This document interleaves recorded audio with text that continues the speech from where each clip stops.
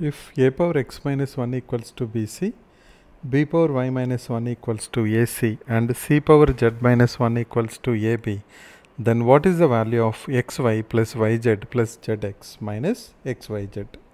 a power x minus 1 is bc, b power y minus 1 is ac and c power z minus 1 equals to ab, then what is the value of xy plus yz plus zx minus xyz?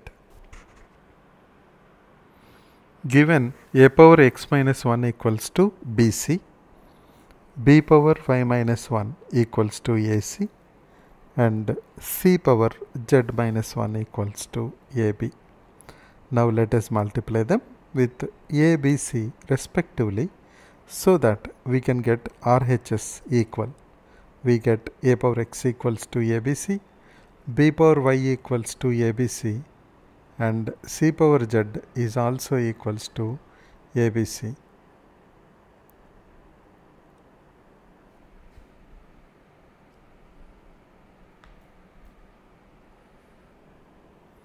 Can we write down all together?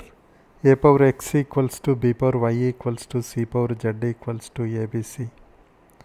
Now to get the condition what we will do, we'll start with a power x equals to abc then leveraging the condition just we got, we'll try to write down b and c in terms of a.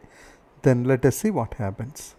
a power x equals to a into b into c. Can we write down a power x equals to a into? We know b power y is a power x. So why can't we write down b equals to a power x by y? Similarly, we know c power z is a power x. Why can't we write down c equals to a power x by z? Now those bc values will substitute with a power x by y and a power x by z. That's let us simplify that. We will have a power x equals to a power m into a power n is a power m plus n. So powers will add up. We will have 1 plus x by y plus x by z.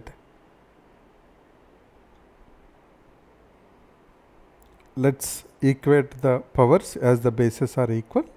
We will have x equals to 1 plus x by y plus x by z. What we need to find out is x, y, z. So let's multiply with y, z on both the sides so that we will get x, y, z term. We will have x, y, z equals to y, z plus x, y plus x, z. What we need to find out is x, y plus y, z plus z x minus x, y, z. Since they both are equal, we will get the answer as 0. So, if a power x minus 1 is bc, b power y minus 1 is ac and c power z minus 1 is ab, then the value of xy plus yz plus zx minus xyz is equals to 0. Now this problem can be solved in more than one method.